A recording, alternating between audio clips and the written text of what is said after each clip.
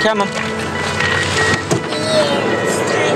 With two days left to go, Sharon and Dave have a friend living on the other side of the island who they want Sam to meet.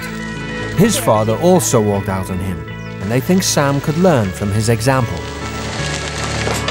19 year old Malachi Johnson lives in Portland Cottage in the southern hurricane belt. By contrast to Sam, he shouldered responsibility for his whole family, despite facing extraordinary adversity. The Roses hope the meeting will be a wake up call for Sam. Okay, Sam. Hey, man. Meet my friend here. And um, he's a very good person. He's only two years um, older than you.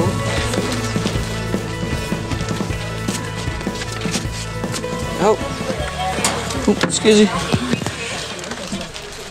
The hurricane take it all off. Oh man, this place is like makes my place look really, really good.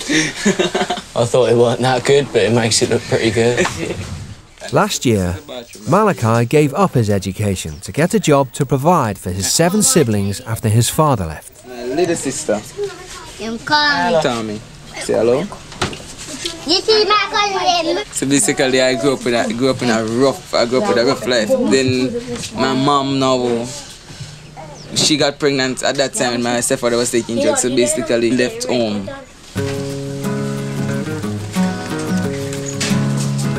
Amazing, it's so different. What motivates me the most is my family. That's what motivates me the most to get a job. That's what motivates me the most.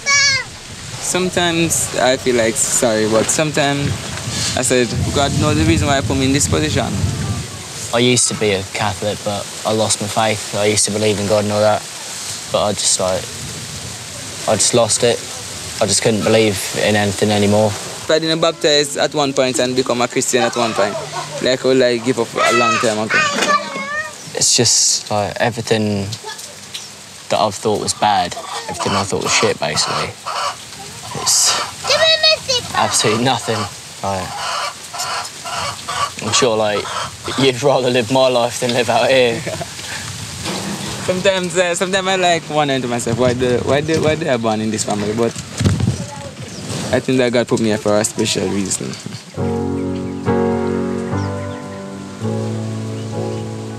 This is made.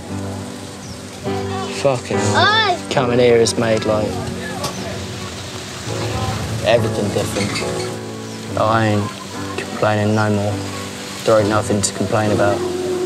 I'm gonna basically just not be such a little whining twat. I really have been, I think. Don't know what on earth to say, man. He's basically just shut me the fuck up.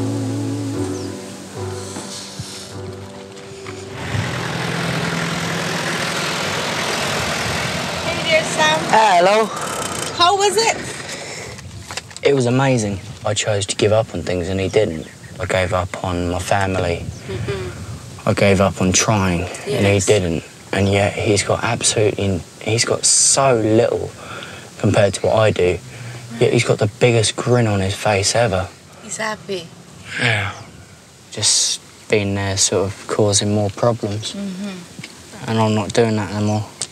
I really cannot do that anymore. Otherwise, I'm not going to be able to, like, put up with myself.